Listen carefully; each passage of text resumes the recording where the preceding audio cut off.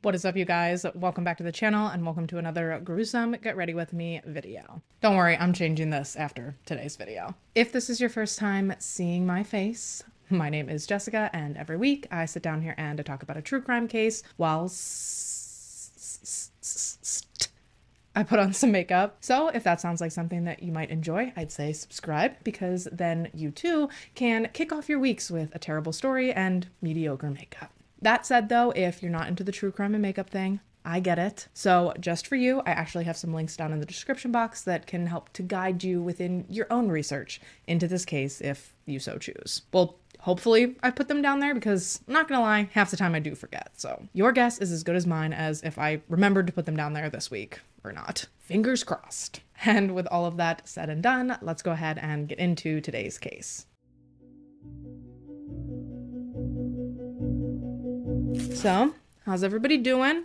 Everybody everybody good? Well, I hope you enjoyed it while it lasted because I'm about to yank your warm fuzzies right away from you. And I ain't replacing it with anything good. Sorry. Now, I know I haven't really been doing content warnings at the beginning of my videos anymore, which honestly, I'm really not even sure why I stopped doing that, but regardless, if ever there was a time to heed a content warning, slash, if ever there was a case that needed a content warning, it's today. Today's case is hands down, without a doubt, one of the worst cases I have ever researched. It is so brutal and oh, dude, it is just it's all bad. It's so so so bad. It's going to stick with you and it's going to upset you. Just for a little context, um inherently just by doing what I do here, I have relatively thick skin when it comes to researching these cases, but this one, this one in particular, I'm telling you, really fucked with my head. So proceed with caution because once you've heard it,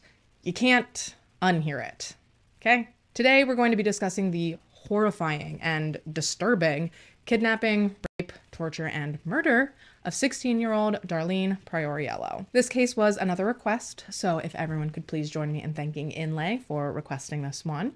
Thank you, Inlay. But also, how dare you? No, I'm totally kidding. She was actually incredibly kind and transparent with me from the get go in her request form. She made sure to adequately warn me about what I was getting into before I even started researching. She even warned me that I would likely cry looking into Darlene's story, and full transparency, she was not wrong. There were more than a few times during researching this one that I found myself either tearing up or needing to just shut my laptop and step away for a while. So, yeah, strap on in because here we go.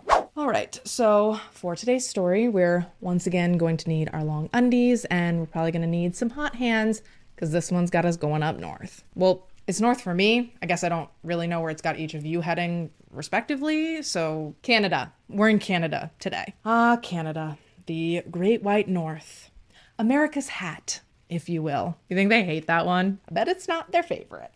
Today we're in Mississauga, which is a city in Ontario that I had to write out embarrassingly phonetically in my notes to make sure that I didn't make a fool out of myself trying to stutter it out here with you now. A Little BTS knowledge for you there. Mississauga, Mississauga, Mississauga.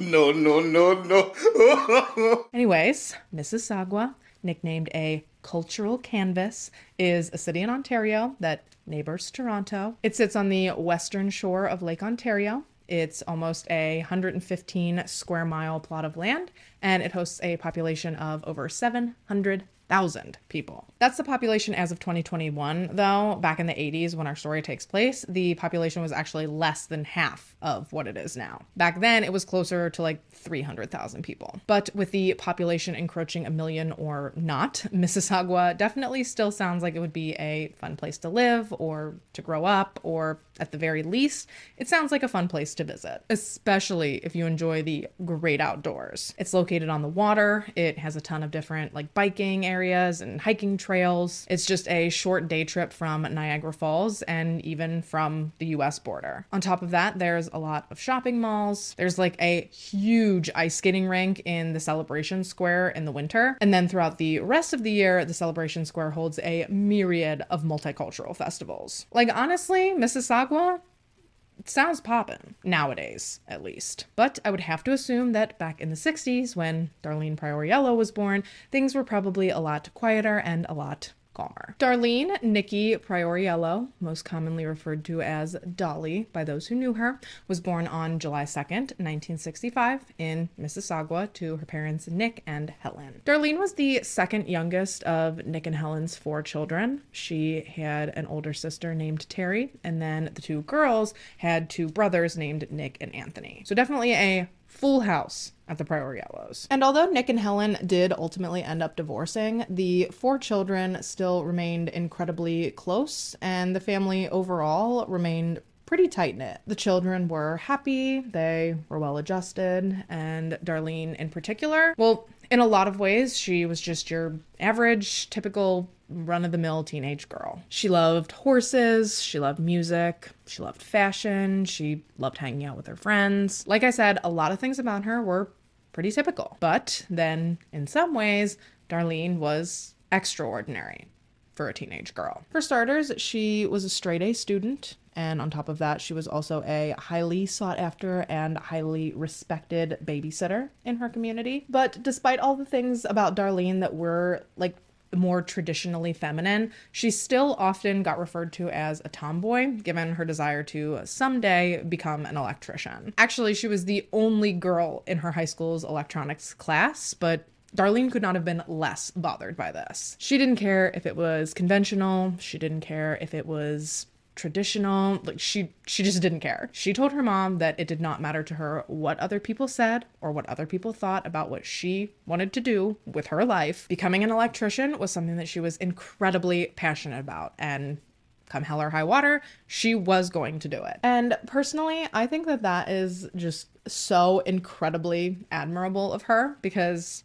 as a previous teenage girl, I can tell you firsthand how hard it is to step outside of what's considered cool or what's considered like normal. So, props to her for always being authentically who she was and for always being like true to herself. Because it took me well into my probably late 20s to carry myself with that kind of confidence. So, to do so at 16, I mean, that's incredible. Plus, ain't nothing wrong with a steam girly. Steam, STEM, I swear I've seen it both ways. Either way, we could probably use more steam girlies. And while, yes, that's a completely different discussion for a different day, I definitely do think that Darlene could have been a trailblazer. Oh, she also played these steel drums in her school's band, which is definitely not something you hear every day. I even read from one source that she was hoping to go with her school's band on a trip to Jamaica soon. So clearly, when Dolly found something that she was interested in, she put 100% of herself into it. And while all of that stuff is definitely cool. The steel drums, the straight A's, the horses, the electrical classes, all the stuff that we just went over. Far and away, what stuck out to me the most when it came to who Darlene was were the stories of how thoughtful and how kind that she always was to those around her. And I'm not just referencing the stereotypical, like, oh, she was nice to everyone she met, like, type of nice, although I'm sure that she was. But I'm talking about the instances where Darlene took her kindness far beyond what you'd expect out of a typical high school girl or high schooler in general. Not only did she once save up her hard earned allowance in order to buy a classmate of hers some nicer clothes, but Darlene would also frequently invite over her classmates if she ever got the feeling that one of them might be going through a hard time. Whether it was to offer them a home cooked meal or just some companionship, or whether she just felt like they needed some TLC. Darlene was always the first and sometimes the only person to reach out to some of her struggling or less fortunate classmates. And at the risk of repeating myself, I have to say that that is an incredibly admirable trait for such a young person. Like, sure, I pride myself on being a good person now, but in high school, compared to Darlene, I was basically a skid mark on the underpants of society. This girl was like an angel among us. But unfortunately, the world would be robbed of Darlene and her generosity and her kindness far, far too early. And poor Darlene, she would be robbed at the chance of having any sort of real future. She would never get to grow up, to become an electrician.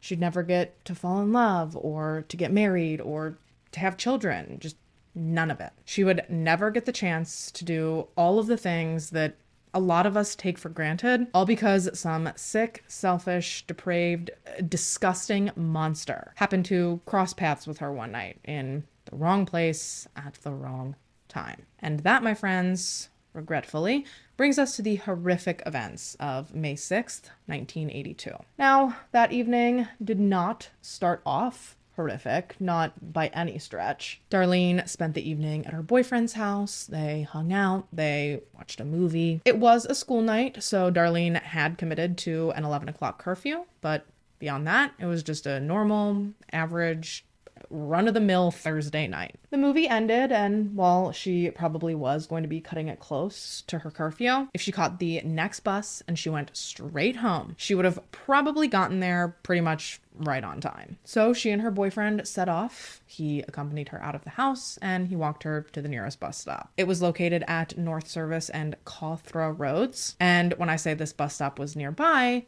I mean it was very close to Darlene's boyfriend's house. So close, in fact, that he could very clearly see it from his bedroom window. So obviously, this wasn't a very long walk for the two of them. And once they got to the bus stop, her boyfriend stood and he waited with her. They chit chatted about the movie they just watched. They stood there and they stood there and they stood there until they finally realized that of course, as luck would have it, the bus looked as though it was running behind schedule. And so, being the selfless person that Darlene was, and not wanting to put her boyfriend out, Darlene eventually told him that the bus would probably be there any minute and that he really didn't have to keep waiting with her if he didn't want to. He could just go on and head home. And I mean, realistically, what reason would she have to believe that she would be anything other than safe? Waiting there for the bus for a couple of minutes within like spitting distance of her boyfriend's house. She had probably waited at that very bus stop plenty of times before. But even so, her boyfriend really was uncomfortable with this. My guess is because it was so late, and he did voice these concerns to Darlene, but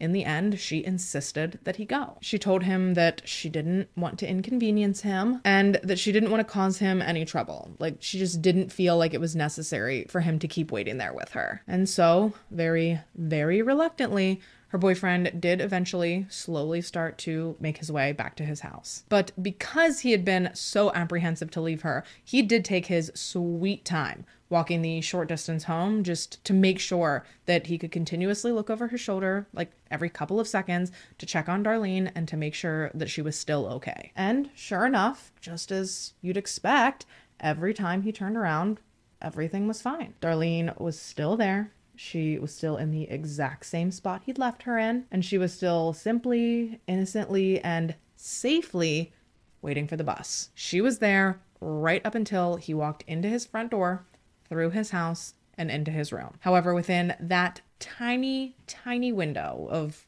what, 60, maybe 90 seconds, that was when Darlene did actually happen to disappear from the bus stop before he could check on her again. But given that it was already a few minutes past when the bus had been scheduled to arrive in the first place, he didn't really think anything of the fact that she was gone. He just assumed that the bus had arrived, Darlene had boarded it, and now she was safely on her way home. He could have never imagined that instead of waiting there patiently for the bus to arrive, like he was under the impression that she would, Darlene had instead accepted a ride home from a total stranger. She had been offered this ride from a boy who unbeknownst to her, was sick, twisted, and disturbed beyond anyone's plausible comprehension. And what is so, so incredibly sad about this is that Darlene only accepted this ride because she was worried about missing her curfew. Sure, she didn't want to get in trouble, but I'd be willing to bet that more than anything, she probably didn't want to worry her mom. And so, because this bus was apparently super behind schedule,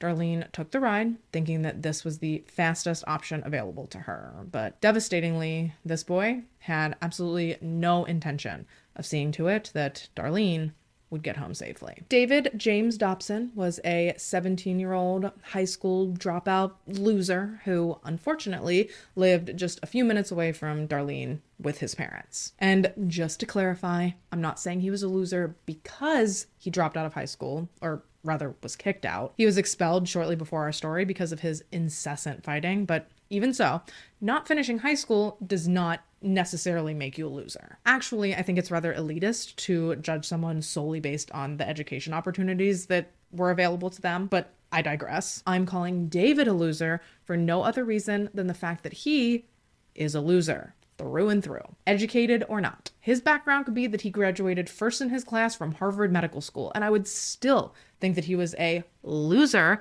because of how he goes on to behave and what he goes on to do. Speaking of David's background, though, there actually really isn't too much like on official record to help us understand who David is or how he was brought up. But what is available out there, though, and plentifully, might I add, is rumors. Rumors about his upbringing, rumors about his own weird actions. Just lots and lots of stories about who he might have been. And I'll tell you what, ain't none of it great. From incest to fighting to torturing animals to once pleasuring himself in front of some of his classmates with his own mother's battery powered self love apparatus. If even half of the rumors that I've seen circulate around about him are true, and there wasn't a single person out there that was like, eh, we should probably keep an eye on this kid. Yikes. And honestly, that's probably really not even capturing how big of a ball drop this really was. If these stories are true, it should have been very obvious from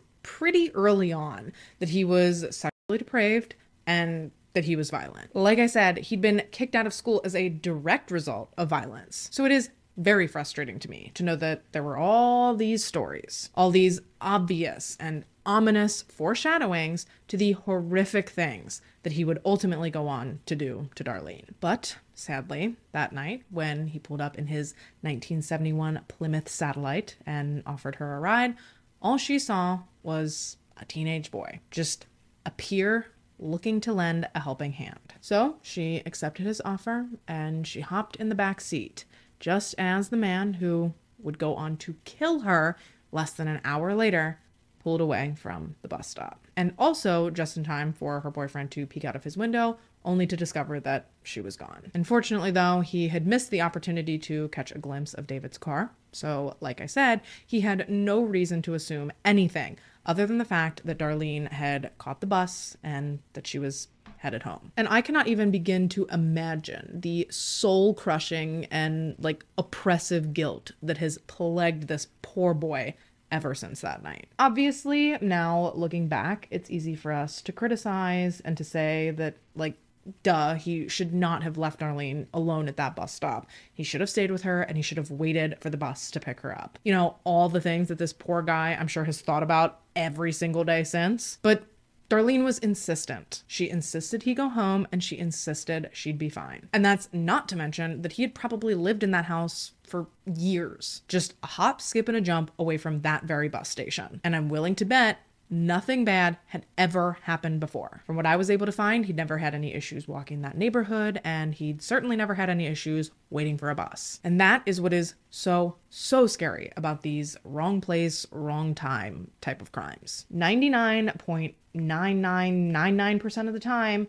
everything is totally and completely fine. But then eventually comes around that 0.0001% that everything is not fine. And devastatingly, Darlene climbing into the back seat of David's Plymouth, well, that was in that 0.0001%. Sidebar I've seen a couple different reasons listed as to why she rode in the back seat that night. I've seen it posed as her personal choice that he pulled up, unlocked the doors, and that she chose to sit in the back. But I've also seen it suggested that David got out of the car and opened the back door for her, effectively making him the one to choose where she sat. Personally, I tend to land under the umbrella of the assumption that she herself chose to get in the back seat because in my opinion him pulling up asking if she wanted a ride her saying yes him getting out walking around the car opening the door for her and then walking back around to the driver's seat getting back in and then driving off. Personally i think that this would have taken a lot longer than it would have taken for her boyfriend to get into his house and into his bedroom to the window where he could see the bus stop. I think it makes more sense that he pulled up asked her if she wanted a ride she accepted he unlocked the doors and then she hopped in. And if i'm right which obviously we'll never know if I am or not, but if I am, it makes me feel like she wasn't really 100% comfortable with the idea of getting into this car at any point. Do you get what I'm saying? It seems like she was from the start putting as much distance between her and him as she possibly could. And I don't know about you, but to me, that is not giving I trust this guy. Again, this is all just speculation, but it seems to me like, at the very least, she was slightly apprehensive, causing her to, from the get go, attempt to put sort of a barrier in between the two of them. But because she was desperate to get home as fast as she possibly could, regardless of how secure she felt in her decision or not, Darlene did accept David's offer. She did get into the car, and within just a few seconds, they were off. Now, based on my Google mapping skills, I believe that it would have taken just a few minutes for David to get Darlene home had that ever truly been his intention. Six, maybe 10 minutes, tops. So when Darlene noticed that not only did he pass a street that he should have taken in order to get her home, but that he also seemed to be deliberately running through every stop sign and every red light that they happened to encounter, well, that was when Darlene started to worry that perhaps she had made a mistake in getting in this man's car. She tried not to panic and she tried not to lose her cool. She simply asked David where he was going, because at this point it just seemed like he was kind of driving around aimlessly. And he told her that he was sorry, he wasn't trying to freak her out, and that all he was doing was driving around and looking for somewhere to turn back around. And for a second, I assume this eased her mind, but as he passed more and more areas where he could have easily done so, Dolly's fears started gradually creeping back in. Eventually, to the point where she even actually told him that he didn't need to worry about taking her home anymore, that he could just let her out right where they were. But he ignored her request and instead he slowly pulled into the parking lot of a nearby factory, the 600 Group Equipment Factory. He pulled his car back behind the building, he parked it near a pile of scrap wood, and then before Darlene could even begin to wonder where they were or what was happening. David James Dobson lunged from the driver's seat into the back seat and he began his disgusting and vicious attack. An attack that, grotesquely, I have almost a minute by minute breakdown of. Yeah, Dobson later writes out a very detailed confession letter and mails it to police, something I'll obviously get more into later. But my point in telling you that now is that I want to give you one more heads up, one more exit ramp, if you will. The next little bit of this story is incredibly difficult to hear. It's difficult to process and it's difficult to sit with after. So, if you don't want to hear everything that happened to Darlene in detail, go ahead and skip to this timestamp here. But if you're sticking with me through this whole thing, I appreciate you, don't get me wrong, but you've been warned. So, um, Dobson jumps into the back seat with Darlene. This obviously terrifies her, so understandably, she started screaming immediately. I mean, clearly she'd been on edge for a majority of this ride, but it was now more clear than ever that this man's intentions they weren't good. So she screamed and she screamed and she screamed and she tried to fight him off, but there was really nothing that she could do. Uh, she was trapped, and Dobson knew that. He knew that she couldn't get away, so he simply just tried to get her to be quiet. He told her numerous times that she needed to shut up, and he told her that if she knew what was good for her, she'd be quiet. Oh, and then the real cherry on top of all of this is that he told her that she didn't have to worry because he was, quote, only after sex, as if that was supposed to bring her like some great deal of comfort. Obviously, I understand that he was trying to explain to her that as long as she did what he wanted, he would eventually let her go. But still, the fact that a man would think that rape would be a comfort to a woman in a situation like this one, get a fucking grip on your life, bro. So he's in the back seat with Darlene. From my understanding, he did eventually get her to stop screaming. And from there, he just begins like pawing at her, groping at her, shoving his hand in all the places that it didn't belong. Just it it makes my skin crawl to imagine what this poor girl had to go through. And this is just the beginning. From groping at her, he proceeded to uh, like position her how he wanted her, and then from there, he instructed her to remove her pants. And I think we can all logically deduce what came next. This man is clearly an animal, and he did, in fact, go on to rape her as such. And I don't need to clarify this, I'm sure, but Obviously, Darlene was so upset by this. She was so scared and so traumatized, and she just really couldn't do anything other than cry and tell him that she didn't want to get pregnant. Not that what Darlene wanted was of any concern to David Dobson, but yeah. When he was finally done with this portion of the attack, he instructed Darlene to get out of the car and he made sure to tightly hold on to her by her jeans belt loop the entire time so that she had no chance to try and get away. Not that I'm sure she imagined she stood any sort of like physical chance against David anyway, because I'm not sure if I mentioned this, but David Dobson, he a big boy. He was over six foot tall, pushing 200 pounds, with just a full grown beard. Sure, he might have been 17 years old, but physically speaking, he was every bit a full grown ass man. And poor Darlene, I mean, she was tiny. She fought, she tried, she did everything she could, but ultimately he was just too big and too strong for her. Now, the whole reason that David had told Darlene that he wanted her to get out of the car in the first place was because he wanted her to move from the back seat to the front seat. But then, as they actually got up towards the front of the car, rather than putting Darlene in the front seat like he'd said he was going to, David instead stopped and told Darlene that first, he had a surprise for her. And as I'm sure you can likely guess, just based on what we've gone over so far, that surprise it wasn't anything good. Nope. He reached into his car.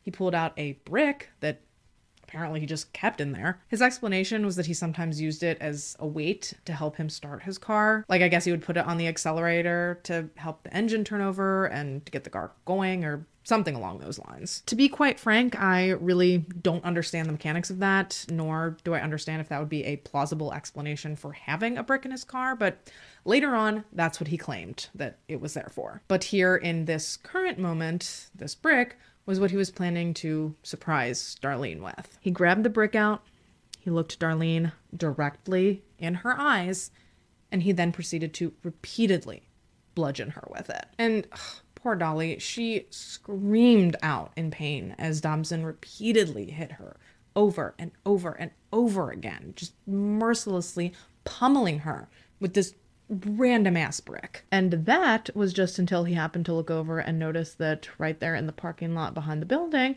there happened to be a bigger brick. Because remember, this is all taking place behind an old factory. There's all kinds of miscellaneous junk just laying around. So when Dobson notices this bigger brick, he ditches the smaller brick, picks up the bigger one, and then proceeds to hit Darlene over the head with that one upwards of 10 additional times. And by this point, Darlene is crumpled onto the ground. She's in unimaginable pain, and she's just doing anything and everything she can to try and defend herself. She tried blocking his blows, she tried begging him to stop, and she tried just simply begging for her life. And while obviously all of that is very upsetting to hear, perhaps the most eerie thing that Darlene said was when she explicitly asked Dobson not to strangle her. It was almost like hearing Darlene say this reminded him that choking or strangling her was even an available option. Almost immediately after she asked him not to strangle her, Dobson grabbed a piece of wood from the scrap pile they were parked near. He took it and he began firmly pressing it down into Darlene's neck, completely cutting off her air supply. And he did this a couple of times. He would cut off her air just until she was like right about to lose consciousness, only to then let up to ensure that she would stay awake for every single disgusting thing that he still had planned for her. Sometimes he would press the wood into her neck and lean into it with his body weight to cut off her air, but then sometimes he would position it just right so that he could stand on it in order to press it down to cut off her air supply. And aside from this being terrifying, can you imagine how painful that must have been? I mean, Jesus. And of course, he still wasn't done. Because once he'd had enough of this particular part of his torture, he discarded the wood, he grabbed Darlene by her ankles, and he dragged her across the concrete away from his car and into a like little grassy area that sat behind the factory. And as he had been dragging her, you know, across the asphalt, as I'm sure you can imagine, Darlene's clothing became disheveled. Her pants were still undone and loose from the assault in the car. So, as he drug her by them, they began to come down. And conversely, as her back scraped across the concrete, her shirt and jacket began to come up, eventually bunching up around her shoulders. And unfortunately, this did ultimately expose her bare chest. And in seeing this, Dobson saw an opportunity to violate Darlene even more than he already had. As he noticed that her chest was exposed, he leaned down and, as hard as he possibly could, he bit into her on her right breast. He then forcibly removed Darlene's pants as well as her undergarments, and with her own lighter, Dobson then decided to torch Darlene's hair, like her pubic hair. And just a friendly reminder Darlene was still 100% alive and coherent through all of this. Pathologists on this case would actually later theorize that Darlene was likely alive, awake, and coherent right up until the very last second of this brutal, just horrifying attack. She was still alive as he bit her, as he lit parts of her on fire, as he pierced her skin with a safety pin. He also got the lighter hot and burned other random areas of her skin with the metal. I mean, this kid, teenager, man, whatever the fuck you want to call him, this animal was just so unbelievably sick and twisted. He was very clearly just trying to do anything and everything that he could possibly think of to cause Darlene as much pain and as much suffering as humanly possible. From things he claimed to have seen in magazines to things that he came up with in his own sick little head. This fucking limp dick loser clearly had no limits as to what he was willing to do to this poor, defenseless girl. Next, he found and grabbed another piece of wood. This time, a piece that had a large nail sticking out of it, and he used this to strategically puncture numerous different areas of Darlene's body her chest, her neck, her head. He would take the nail, he would place it where he wanted it, and then he would use like the base of his palm, like right above his wrist. He would use that to hit the backside of the board in order to drive the nail into Darlene. And just to clear the air here quickly, I know this is a lot. I know it's graphic. I know it's difficult to hear. Trust me, I accidentally stumbled across some of the crime scene photos, and believe you me, I will never forget the things I saw. But personally, I feel as though if this poor girl had to experience this horror and her family had to hear about all of this in explicit detail, I think the least we can do is acknowledge it. You know, listen to it, acknowledge it, and pay respect to it, to Darlene and to the fight she put up and to the stress and the terror that she did manage to survive. Truly, the fear and the indignity that she must have felt experiencing all of this, uh, it is it's just beyond comprehension. Beyond mine at least. And what David Dobson continues to go on to do to Darlene and to her body once she's passed, it makes me sick to my stomach. And I'm not saying that as a figure of speech, I'm not using it as an expression. I am telling you that I actually genuinely felt sick when I was reading through all of this. Once Dobson was done repeatedly stabbing Darlene with the nail on the board, he pulled her jacket up over her face. He flipped a 70 pound cinder block over onto her head. And then, as the life drained from this innocent 16 year old girl's body. This absolute freak took this as an opportunity to perform oral sex on her as she took her final breaths. Like, truly, if I could bleach my brain after researching and presenting this case to you, I absolutely would. And I doubt I'm far off in assuming that most of you would love to be able to do the same by the time this video is over. Oh, and once he was done necrophilizing her body, he pocketed her lighter as well as the necklace she was wearing, her favorite necklace. He then urinated on her body as just one last final fuck you to the human life he just brutalized and extinguished. And then he left. He got in his car, drove himself home, and he went straight to bed, laid his demented little head on his fluffy little pillow, and drifted peacefully off to sleep without a single care in the whole world. Meanwhile, though, back at the Prioriello house, as soon as Darlene had missed her curfew, her mother Helen got a sinking, visceral gut feeling that something was very, very wrong. She later referred to this feeling as mother's intuition, but whatever the case may be, she said she could just feel it in her heart that Darlene was not okay. She immediately reached out to police and she tried to file a missing persons report, but if you'll remember, this is the 80s, so I'm sure you can guess what I'm going to say next. Police told Helen that they couldn't file an official report on Darlene for at least 24 hours. Now, they did note down Darlene's description and they made a note of the fact that Helen had called, but honestly, this wasn't good enough for her. She had absolutely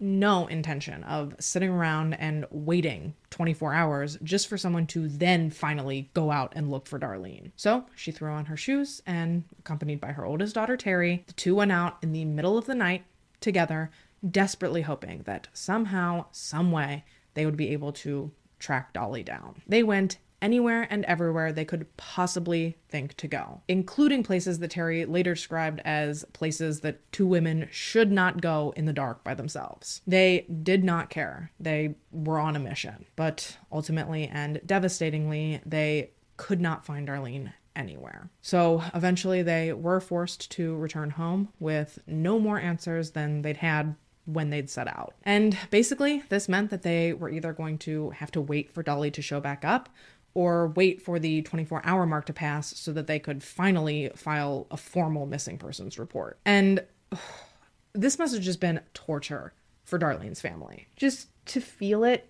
deep in your gut that something with a loved one of yours is terribly wrong, but then to realize that you have no control over the situation and that you basically have nowhere to turn, that you are on someone else's timeline in a situation like this it is just awful to think about or to imagine yourself in those shoes. And I just want to say that you know, just as like a little side PSA, this whole arbitrary 24 hour waiting period, it's not a thing. At least not in America. There is not actually any real designated like legal time frame that someone has to be missing before you can report them as such. So if you do ever find yourself in said proverbial shoes, which in Jesus' name you won't, and neither will I. But if you ever are, if you ever feel it deep in your gut that something is wrong with someone you love, and someone tries to tell you to wait, don't back down. I know it's been a little bit, but we learned in my last video with Lalana that the squeaky wheel gets the grease. So if ever you need to advocate for a loved one in a situation similar to this, bitch, you squeak till you can't squeak no more. It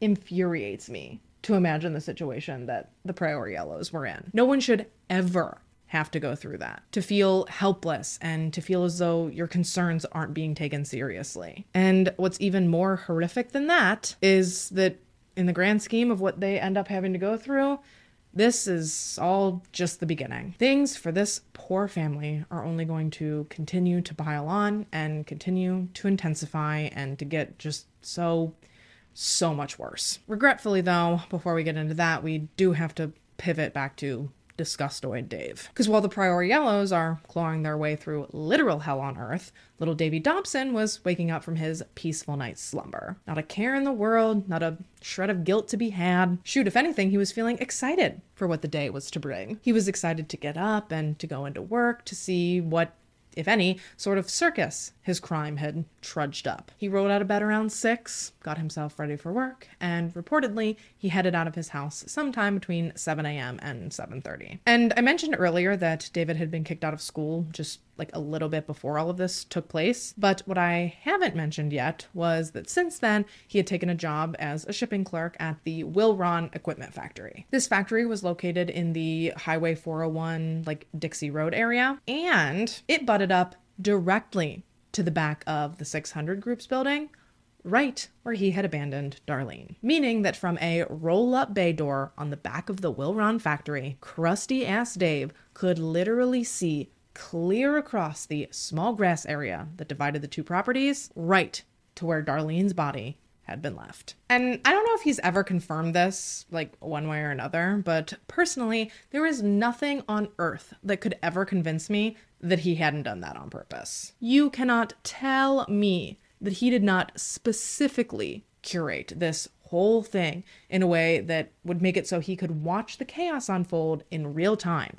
as Darlene was discovered and his crimes became like public knowledge. So imagine his surprise when he got to work, clocked in, and glanced out the back of the building to find nothing. No police cars, no media vans, no horrified spectators, nothing. Zip, zilch, nada. The area behind the 600 Group's building appeared every bit as desolate now as it had the night before. And you better believe that this was not at all how David had been expecting the morning to go down. No, he'd been expecting flashing lights, reporters, crime scene tape, you know, the whole shebang. He wanted all eyes, focus, and attention on Darlene, and more specifically, on the horrible and disgusting things that he'd done to her. And considering the fact that he's certifiable, he had absolutely no intention of waiting around for any of these things to happen organically. He wanted Darlene found as soon as possible so that he could sit back, relax, and relish in not only what he'd done, but he was planning on soaking up every bit of the madness and pandemonium that was sure to ensue when Darlene was discovered. And so, at a little after 10 a.m. that morning, when he simply could not take it any longer, David picked up the like communal phone at the Wilron factory and he placed a phone call to the 600 group. The phone rang as the call connected, and when the 600 group's receptionist answered the phone, Dave, who was now claiming that his name was Fred, told her that someone needed to call the police because there was a dead body behind their building. Then he just click hung right up. And the receptionist, whose real name I found once and was never able to find again, so for the purposes of the story, I'll be referring to her as Rose, since I've seen a bunch of other sources refer to her as such. But obviously, after hearing this, Rose, uh, she was shook. I mean, that's not how anyone plans on starting their morning. So she was visibly upset after she hung up from this phone call. So much so that the guy whose desk was next to hers saw her face and how it had like completely drained of color. And he was like, Girl, are you good? And because she was, in fact, not good,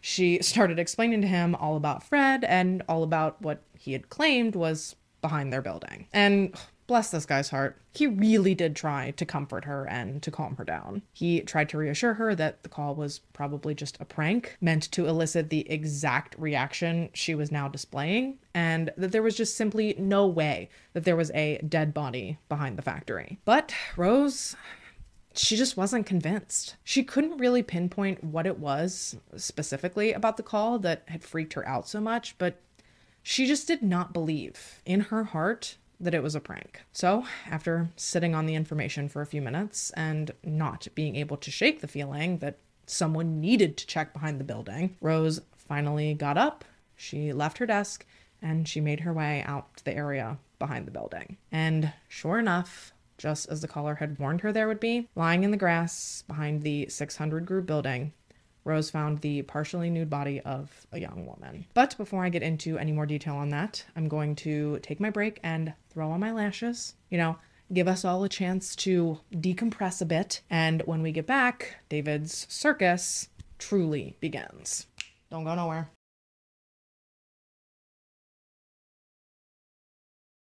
All right, so we're back, and before our break, Rose had headed out back to call Fred's bluff, only to find out that he had not been bluffing. There was, in fact, a dead body abandoned behind the factory's building. It was clearly that of a young girl. Her shirt had been pushed up around her neck and shoulders, exposing her chest, and she was also nude from the waist down, appearing to have been posed in a very suggestive and, uh, frankly, very disturbing way. Again, I accidentally stumbled across some of the crime scene photos, completely unexpected, and I definitely wish that I had not. So I can't even imagine how disturbing this was to stumble across in real life. It must have been so traumatizing. Actually, I know for a fact that it was traumatizing. From the obvious torture that this girl had been through to the suggestive nature in which she was left exposed for anyone to see, right down to the 70 pound block that was crushing her face. There have been numerous people who have come forward in the years following this case just to discuss how deeply this whole experience truly affected them. Starting with the two officers that responded to the 600 group's 911 call. These poor, unsuspecting patrol officers had responded to this call simply because that specific area had been their assigned beat for the day. They didn't even have a year of experience between the two of them combined. They were very, very new to the force. So I have to imagine that they were not even prepared for what they were about to see. And this affected them so much that after responding to the 600 group's frantic 911 call and after seeing Darlene's body, one of the officers quit the force entirely and the other one, who did choose to stay on, he ended up requesting to be moved permanently to a desk position. And he remained there behind that desk for the rest of his career with the police force. He wanted to remain safely tucked behind that desk, never wanting to take the chance of having to witness something like that crime scene ever again. Shit, even the seasoned detectives that ended up taking on the case afterwards had their worlds absolutely rocked by the brutality of what happened to Darlene. There's a show on Investigation Discovery called The Case That Haunts Me, and in 2018, almost 40 years after this investigation had taken place and the crime had been solved, Detective Rod Pukala still ended up choosing Darlene's case as the one that had affected him the most throughout his career. And truly, even four decades later, you can tell just how upset and disturbed he still is by everything he experienced throughout this investigation. Honestly, this ordeal really seemed to rock pretty much all of Mississauga as a whole. From the time that Darlene was discovered to the time that David was finally arrested, people were terrified. Women and girls were terrified that they'd be next. Men were terrified for their wives and for their daughters. People stopped going out, they stopped using public transportation. And we're just talking the people who heard about what happened. So imagine the lasting and traumatic impact that this had on everyone that was actually directly involved. Like, wow. Like the poor receptionist from the 600 group, Rose. I mean, getting that call about the body, that would have been traumatic enough. Finding the body, incomprehensible. But then to make matters exponentially worse, David just could not stop fucking calling. We know he called the first time just to tip them off about what he had done. Then he called a second time a few minutes later to ask why police weren't there yet. Then he called again a third time once police were on site and the investigation was getting started, just to instill even more fear into Rose. The phone rang, she answered, and this third time, David, who remember is posing as a man named Fred, told her, quote, "The future is uncertain,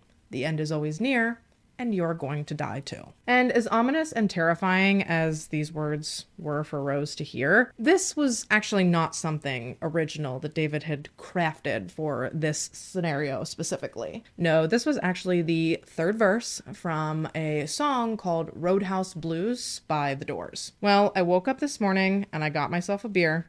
The future's uncertain and the end is always near.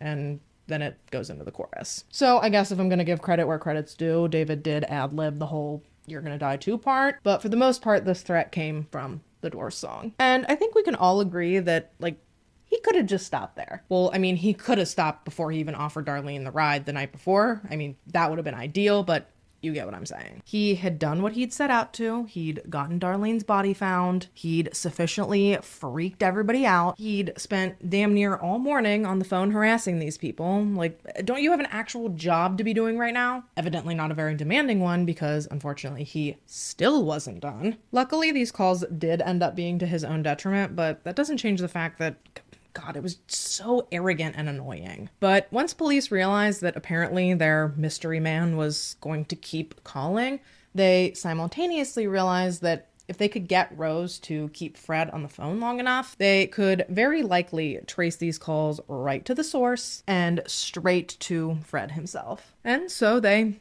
called all the right people and they set up all the right equipment. And just as they hoped he would, Fred did call again. However, what they couldn't have anticipated, though, was that after this fourth phone call, nobody was going to want to stick around. Because when Rose did answer this call, this is when David informed her that he had planted three sticks of dynamite throughout the 600 group's building and that they all had three minutes to evacuate before the explosives detonated, you know, effectively leveling the building and by extension, anyone remaining in it. Oh, and to add insult to injury, this call wasn't even long enough for police to trace. So now they either had to fully evacuate the building and chance missing any further potentially traceable calls, or they had to keep a select few people in the building in hopes of catching any further calls, but obviously in doing so, they would be risking those select few people's lives. And so as soon as Rose hung up the phone and relayed Fred's message, police did like a quick on the fly risk assessment before they ended up settling on the latter option. Meaning almost all of the officers, as well as the vast majority of the 600 group's staff, did ultimately end up evacuating the building. The only two people who chose to remain in the building following David's bomb threat were Detective Pukala and Rose, which I know sounds crazy, but Detective Pukala had begged her to stay. He promised her that everything was going to be fine, that if Fred had truly intended on hurting anyone, he likely wouldn't have phoned in a tip warning people. And most importantly, he explained to her that they needed to stay to answer the phone so that they could try and trace the next call. They needed to find out who this unhinged maniac was before he actually did hurt someone else. And Rose agreed. She stayed as all of her other coworkers ran for their lives, and like clockwork, about 90 seconds later, the phone did in fact ring again. Of course, it was Fred on the other line, and this time he was audibly annoyed that there was anyone left in the building to answer the phone. This meant that at least someone had refused to heed his warning. So he issued yet another one. He warned them this time that they had about 90 seconds left before, you know, then he hung up. But that was fine because, you know what?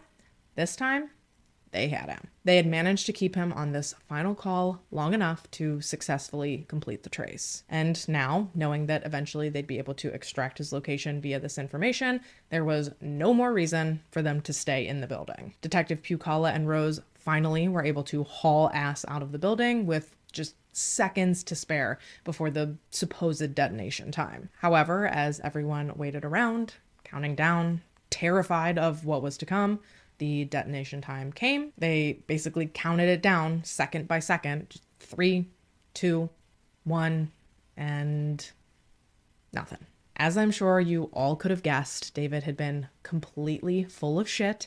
There was no dynamite, no bomb, no explosion, just a bold faced lie that he'd constructed to, in my opinion, try to get everyone out of the building and to get as many eyes on Darlene as he possibly could, which is sick. I mean, he's sick anyway, but I just feel like he was desperate to terrorize and to traumatize as many people throughout this whole ordeal as he possibly could. Because he's a loser. A loser who, unbeknownst to him, police technicians were working feverishly to track down with the trace information that they'd extracted from the final phone call to the 600 group. And while they were doing that, the detectives heading up Darlene's case continued on with arguably the most important task, which was to identify who this poor young woman actually was. They started by cross referencing what little information they could actually discern from their Jane Doe with any and all comparable missing persons reports that had been recently filed. And although a formal report hadn't been taken for Darlene, if you'll cast your memory back,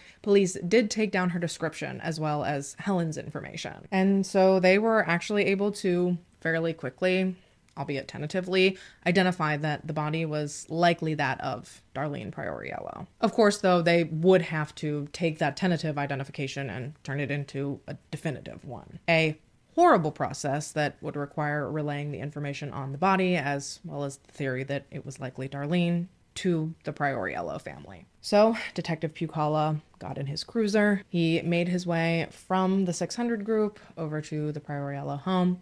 He knocked on the door, and once inside, he spoke with Helen as well as with Terry. He informed them that a body matching Darlene's description had been found that morning, and that while they couldn't be sure yet, they were almost certain that this was the body of Darlene. He informed them that a body matching Darlene's description had been found that morning, and that while they couldn't be 100% sure yet, they were as certain as they could be that it was Darlene. Of course, Helen was horrified to hear about the discovery of the body as well as about the condition it had been found in. But more than anything, honestly, she just refused to believe that it could possibly be Darlene. Not only would it be impossible to wrap your head around the realization that you're never going to see your child again, but also the fact that their last moments alive were spent in such terror and such anguish. I don't know how you could ever truly digest that information. How could Darlene have been planning a trip to Jamaica one moment and then just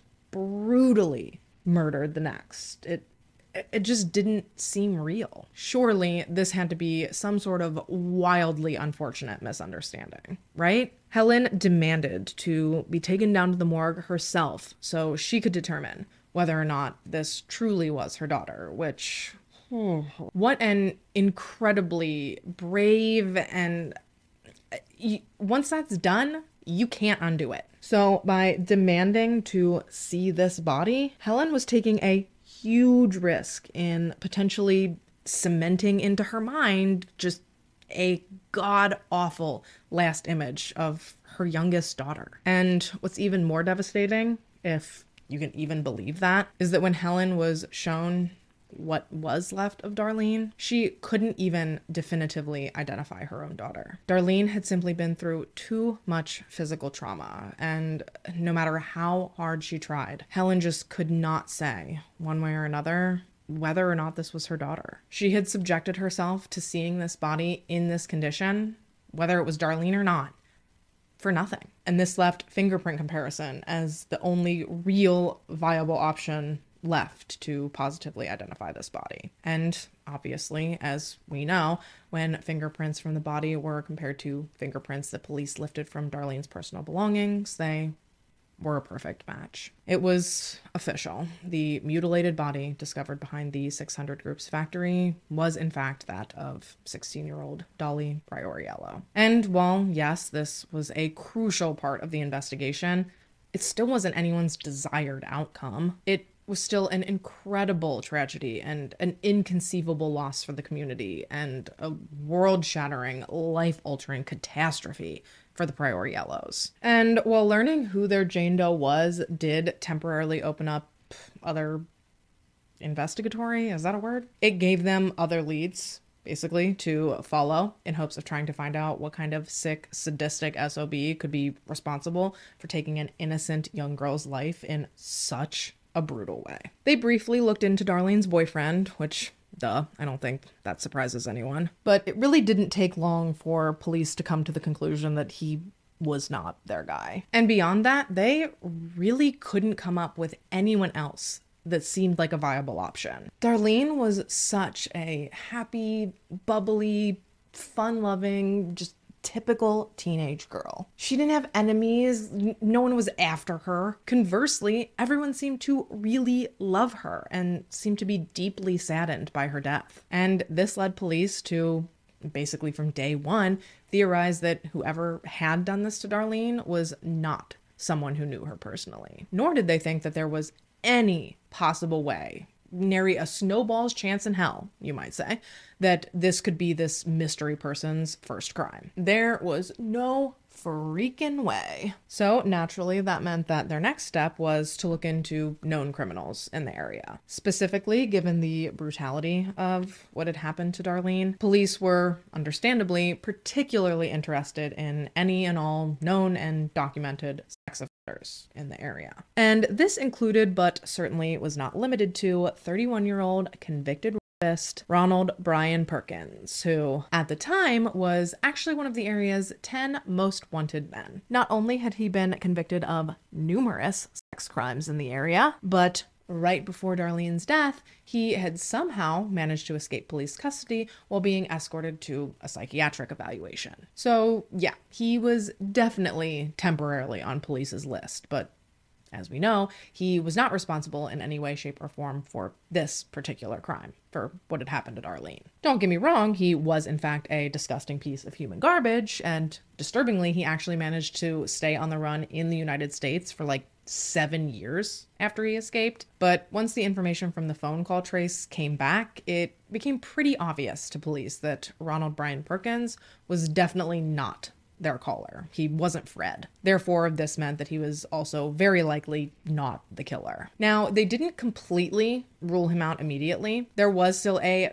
very small chance that the caller and the killer could potentially maybe be two different people. But given the fact that the call trace didn't come back as having come from a payphone or a sketchy motel or I don't know, wherever else you might expect a high profile fugitive to call from. And that's because, as we're all well aware, the trace on Fred's call came back to the old Wilron Equipment Factory, just meters away from where Darlene had been discovered. And like I said, RBP was one of the most wanted men in the area at the time. And Wilron only had like 15, 25 employees working on the factory floor at any given time. So I guarantee someone would have noticed had he strolled in and just decided to tie up the communal employee phone line. So this meant that they needed to head on over to Wilron, scope things out, and try to figure out which employee had spent their morning on the phone. That said, though, the last thing that police were trying to do was tip off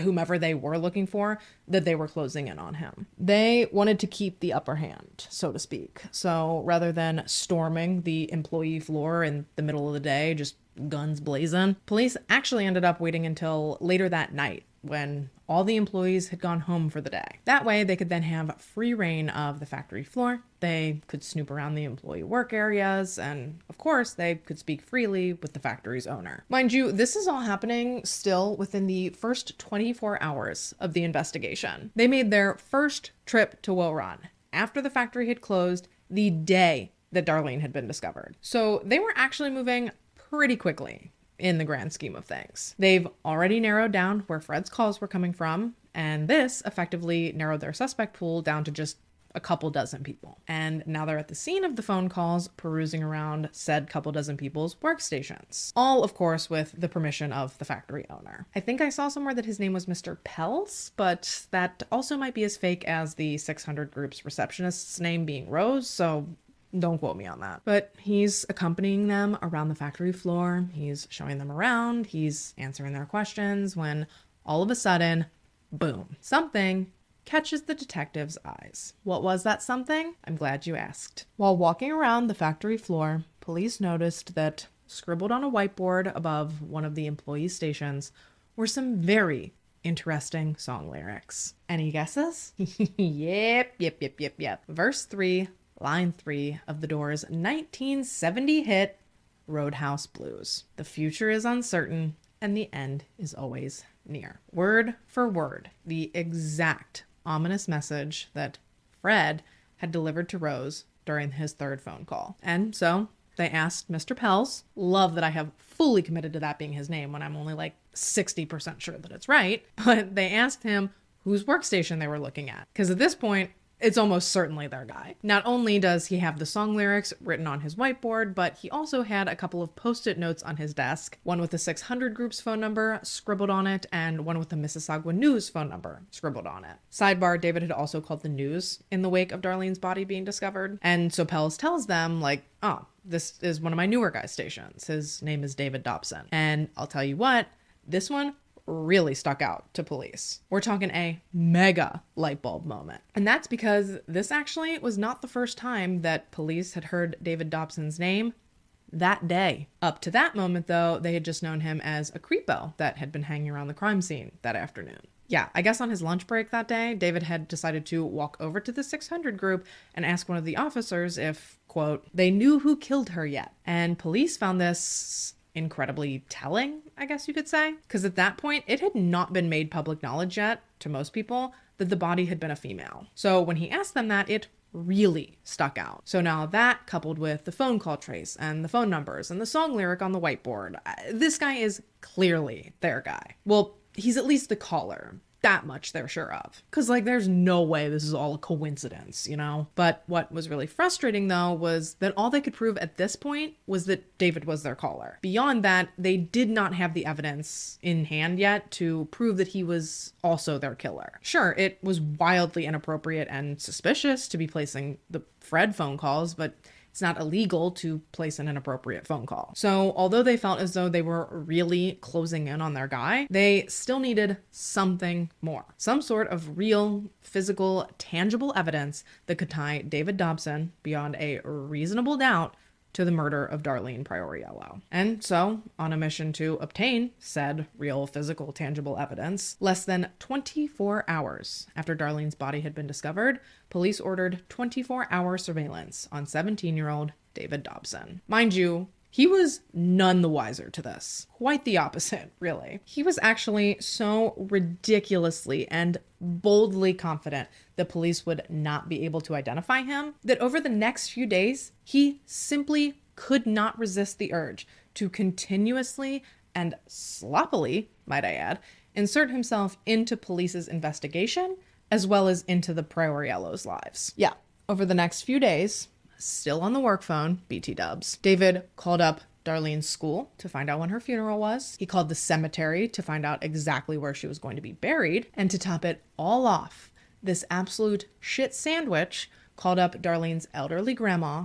And by telling her that he had been a friend of Darlene's, he actually managed to convince this poor old woman to give him Helen's unlisted home telephone number. And as I'm sure that you will not have any trouble believing, David did not intend to use this number for any kind of justifiable reason. Not that there would have ever been any justifiable reason for David to contact Darlene's family, but ugh, he called them and he taunted them about what he had done to Darlene. He made them relive the biggest nightmare of their lives over and over and over again. And that's actually something that he'll continue to do even well after he gets caught, but let me not get ahead of myself. Truly, though, how sick in the fucking head does a person have to be? Like, it's not enough for him to know that just given the situation, the family was going through absolute hell, but he had to then get his rocks off by calling them directly just to hear the anguish in their voice, to experience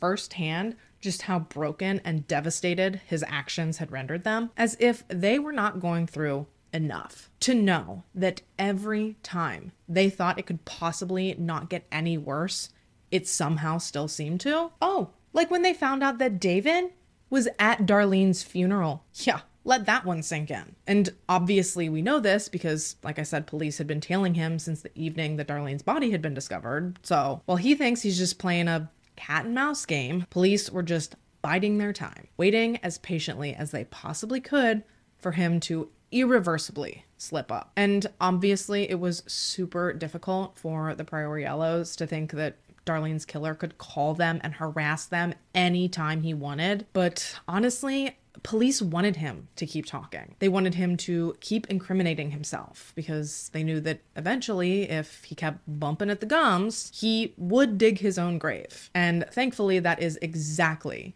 what he ended up doing. Idiot. So it was a few days after Darlene's body had been discovered. Therefore, it was also a few days after police had started their surveillance on David when they received yet another call from their old pal Fred. This time, he had taken it upon himself to reach out to police directly, even going so far as to specifically request to speak to the lead investigator on Darlene's case. And to reiterate, he has absolutely no idea that they know his true identity or that they've been watching his every move like hawks since mere hours after his first call to the 600 group. So, thinking that he's covertly operating under this like cloak of anonymity, David, when speaking to police, felt perfectly comfortable in informing them that he had left them, you know, little care package in the overnight book return box at the Lakeview Library. And while obviously they knew that David had been at the library the night before, they did not yet know about the package or what exactly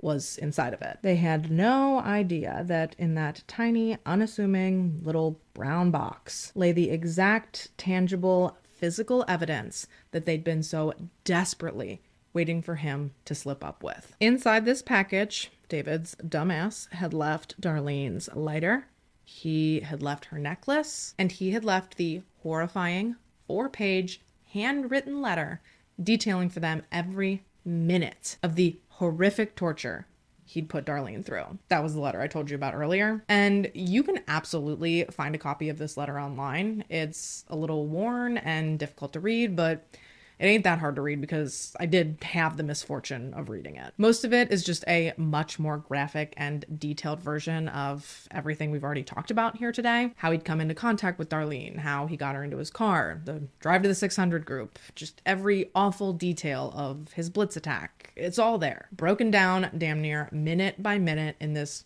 freaky ass letter. Ew. And then to make it even more weird, in addition to just the confession, there were also these like weird, nonsensical ramblings written all around the body of the letter, like out in the margins. Things like, she was pretty, she would have, yes, would of, which is a massive pet peeve of mine, but I digress. She was pretty, she would have made a good housewife, but she was a hitchhiker and now a statistic. Gross. Oh, and he also wrote in the margin of one of the pages that they should return Darlene's necklace to her mother and not try to keep it or sell it as if he's some sort of voice of reason or integrity all of a sudden. Like now you care about her family? Where, might I ask you, was that respect when you were butchering Darlene and then calling her family to laugh about it? Yeah, I'll link down below where you can read the full letter if I don't know, you don't value your mental peace. Personally, I wouldn't read it if I didn't have to. It's definitely upsetting, especially because he writes uh, almost as if Darlene was a willing participant through some parts of her attack. He even writes about certain parts as if she enjoyed it, and it really is just like violently upsetting and it's pretty nauseating. It makes it very obvious, in my opinion, that he's very insecure in his masculinity. He writes in a way that seems like he wants people to think that although what he did was by force, Darlene enjoyed being with him, which, uh, newsflash, pal, uh, no. And finally, he capped off this 500 plus word essay with a challenge for police. He told them that he planned to wait until the anniversary of Darlene's murder to strike again. He told them that he truly believed they would never figure out who he was because he had no criminal record, which, considering they already knew exactly who he was before he even had the idea to write this dumbass letter, how embarrassing. But he didn't know that, so he threw down the gauntlet and he told them to set up whatever bait they wanted to try and lure him out and to, quote, catch him if they could. And what is mad ironic is that now with the letter and Darlene's belongings being able to link the caller to the murder and all the evidence they had to prove that David was the caller, now they had enough evidence to arrest David for Darlene's murder. And if you think that still wasn't enough, they were also able to eventually further prove that David was responsible for Darlene's death by matching a fingerprint from the inside of her thigh to David. I'm not going to get into all of that here because it's complex science and I'm dumb.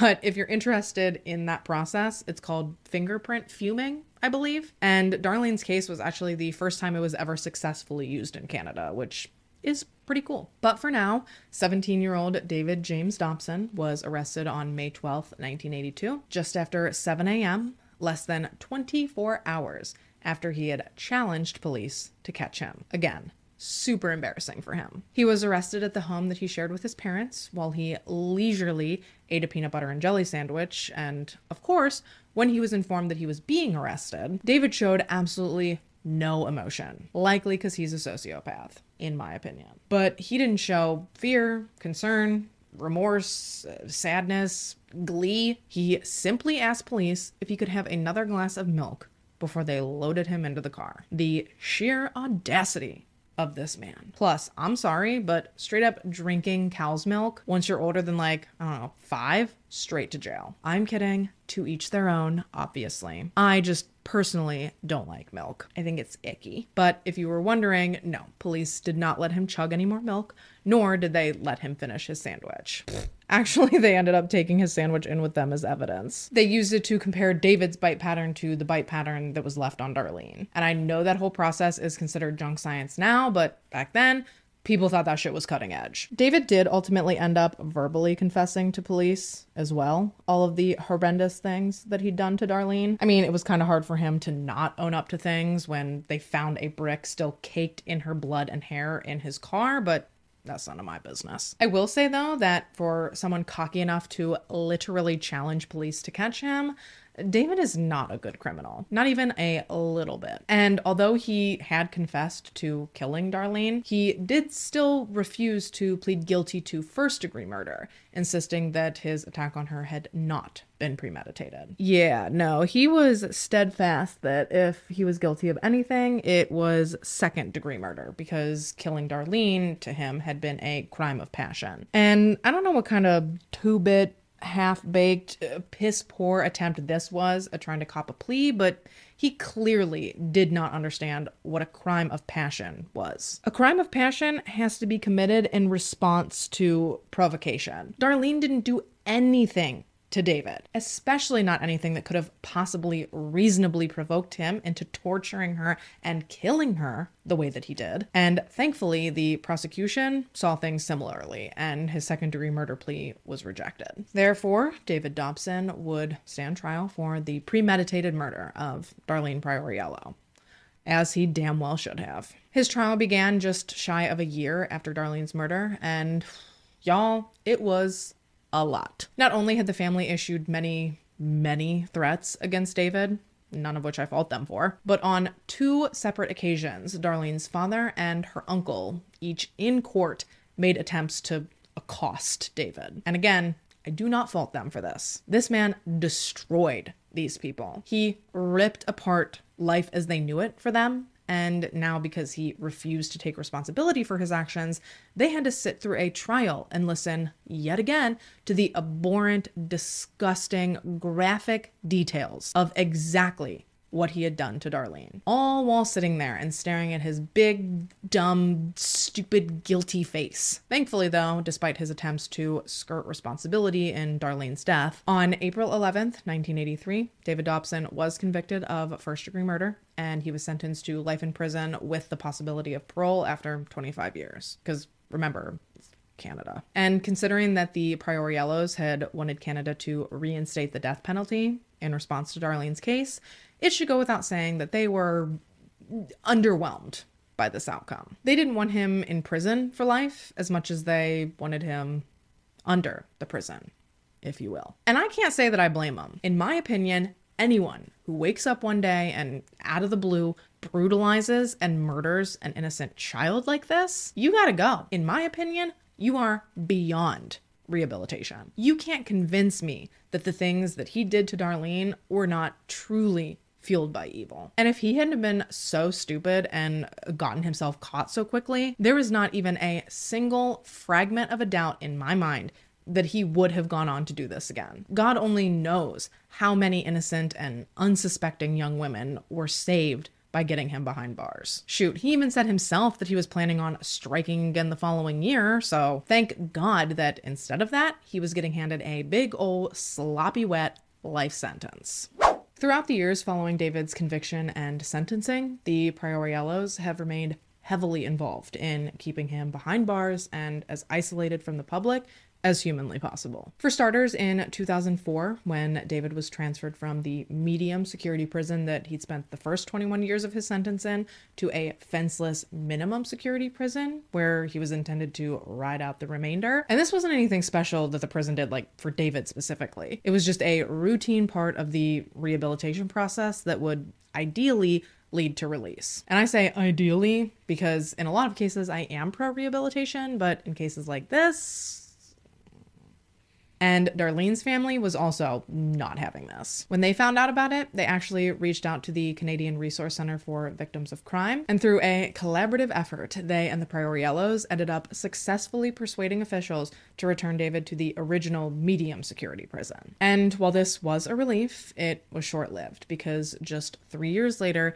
David Dobson was officially eligible to start applying for parole. And if he didn't get out on his first try, from that point on, 2007 to infinity, he would continue to come up for parole consideration every two years. So, bet your bottom dollar that when 2007 rolled around and his hearing came up, the Prioriellos were there in droves, ready to give their statements and to implore the parole board to reject David's application. Terry even brought a petition with her that she'd had signed by over 6,000 people. Ugh, and she also wore one of Darlene's old jackets to the hearing so that she could feel like she was close to her sister while she was forced to look into the eyes of the man that took her away. And that part just really got me because, as I'm pretty sure I've mentioned before, my sister and I are insanely codependent. We're even married to brothers, so we're sisters and sisters in law. Like, we couldn't be closer if we tried. So, thinking of losing her and then having to face the responsible person every two years? Absolutely not. Terry even told the Toronto Star that looking at David to her was like looking at the devil himself. Like I said, this man had wrecked their family. According to Terry, Darlene's death completely changed their father. From that point on, it was almost like he was incapable of caring for his remaining children. Like he was scared to allow himself to be attached to them. And as far as Helen, evidently she went from always being able to make everyone feel as if everything was going to be okay to she herself never believing that anything could be okay ever again. And that was because, whew, and y'all buckle up for this one. Helen used to tell Darlene that there were no such thing as monsters. But now, because of what David did, she knows that she was wrong. Yeah, dude, heartbreaking.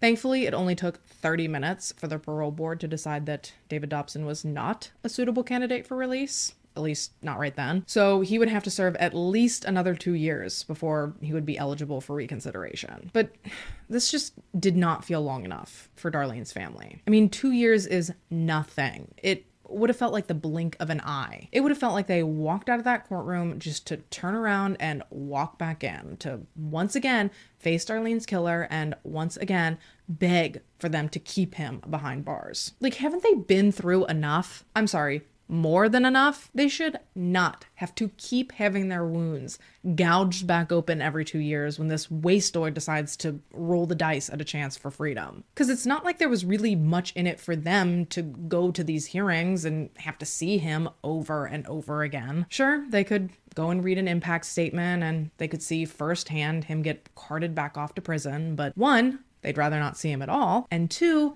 even when it came to their statements, it wasn't like they got free reign to say how they truly felt. Instead, they apparently had to submit their impact statements prior to these parole hearings for approval. And there were actually numerous times that apparently they were asked to edit down their statements or to remove certain things in an effort to remain fair to David. Yeah, ridiculous. And that was when he actually showed up for these hearings. Because sometimes he'd request a hearing, the Prioriellos would get all worked up and stressed out, they'd be bugging at the thought of him possibly being released, only for David to then poof. Retract his hearing request. Like, this shit was so stressful for Darlene's family that Helen ended up in the hospital multiple times just because of what all this stress was doing to her body. Be so fucking for real right now that the last thing that David Dobson did to Darlene was pee on her body, but her family has to show him respect?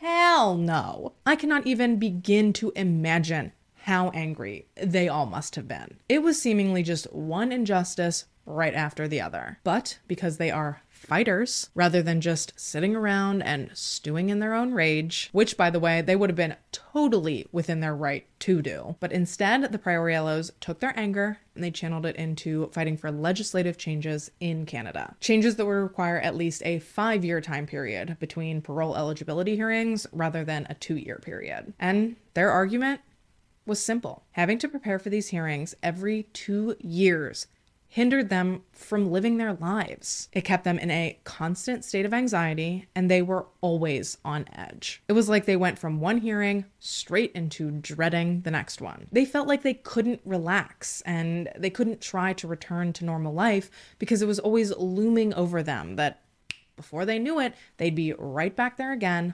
facing Dobson. We don't think convicted killers or repeat offenders should ever get out. If you get life in prison, it should mean life in prison. But since we know that's not going to happen, we're asking the federal government to increase the time to five years instead of two. Families have already been victimized once. They shouldn't have to be victimized every two years. Having to face our loved one's killer and to read what he did to her and how her death has affected our lives is something nobody should ever have to do once, never mind twice. That was a statement that Terry made at a 2014 Public Safety and National Security Committee meeting regarding Bill C 479. And basically, this bill would serve as an amendment to the Corrections and Conditional Release Act, effectively extending the period between prisoners' parole eligibility hearings from two years to five. And with significant help from the Prioriellos, this bill did ultimately pass and it became a law in May of 2014. David did eventually make a statement after his first few parole denials that he was never planning on applying for parole ever again. And he claimed that this was out of his deep respect for Darlene's family. And while I am glad that hopefully the Prioriellos will never have to subject themselves to seeing this ass hat ever again, I personally don't buy for a second that he's doing this for their benefit. Whether he's truly found God in prison like he claims to or not, because don't they all? Nothing will ever convince me that he wants to stay in prison for any reason other than to benefit himself. I think he knows that he has spent almost all his life in prison and that he would have an impossible time trying to adjust to life as a free man. My guess is that he just doesn't think it's worth it to even try. Shit, he said himself in an interview in like 98, I think it was, the prison was comfortable and that serving time was easy. He spent his entire sentence in protective custody, given that people like David usually aren't well received in prison. And he himself has bragged to people about his setup. He's bragged about his TV and his personal cell that he can lock from the inside if he so chooses. So, yeah, I think he's perfectly fine with where he's at. And I think that he's skipping the parole hearings as to benefit he himself and him. As of today, as far as I know, David is still in prison. Canada is a lot more secretive about their inmate information than the US, so I can't verify that for sure. But I think that if he'd been released, the Prioriellos would have had some shit to say about it publicly. So yeah. I don't know when his next parole eligibility date is, and chances are, even when it rolls around, he won't file the request. But if he does, you can bet your ass that the Prioriellos will be right there protesting his release and continuing to advocate for justice for Darlene. But that's if David even lives to see his next parole hearing. Because while he may only be in his late 50s, supposedly, according to leaked prison documents, he does not appear to be doing well in prison. Supposedly, he's like wasting away and he's constantly being shuttled back and forth to different medical treatments. I've seen it rumored he has cancer. I've seen it rumored he has AIDS.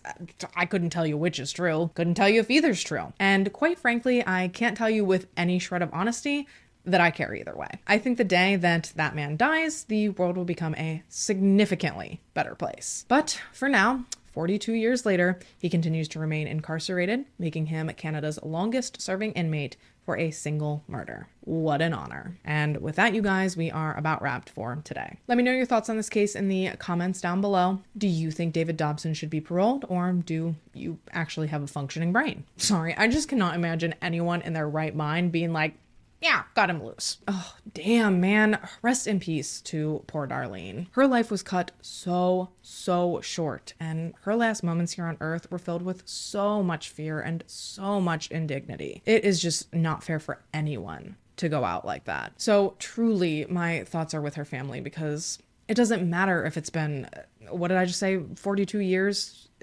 Uh, yeah, almost. It'll be 42 in May. What happened to Darlene is never going to leave me. So I can't even imagine what it's been like living with that and knowing that it happened to their sister or their daughter. That can't possibly ever get easier to carry around. And I know it's been a really rough one, but I do genuinely want to thank Inlay again for requesting this one. I know I said this once already, but it is such an incredibly important story. And if Darlene had to endure all this pain that David Dobson inflicted on her, then the least we can do is acknowledge it. So thank you for being here. Thank you for taking the time today to watch this video and to listen to Darlene's story. If you have a case or a topic you'd like to see me cover, please fill out the request submission form that I have linked down in the description. And if you're a beauty girly like me and you're interested, then the links and the details for the makeup I used today will also be listed down there. If you haven't already and you'd like to, go ahead and subscribe to my channel. I put out new videos almost every week, so if you turn on your post notifications, you'll always be notified when I do post, and you'll always be sure to catch me back here in my next one. But until then, stay safe